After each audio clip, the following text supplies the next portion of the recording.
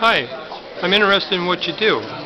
Hi, well, my name is David Plett. I am a Civil War reenactor with the Northwest Civil War Council and also a uh, history student at Western Oregon University. I was homeschooled myself, um, basically, what I'm offering here is a reenacting experience for homeschoolers in a safe, family-friendly environment.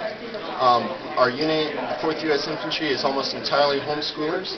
But also what I uh, offer through my business is uh, me coming to your school, your co-op, or even just your family and giving a very close and personal one-on-one um, experience of the Civil War. You get to see all the equipment, the uniforms, the tents, the, the weaponry of the Civil War and really get a feel for what uh, so many soldiers went through during the Civil War period.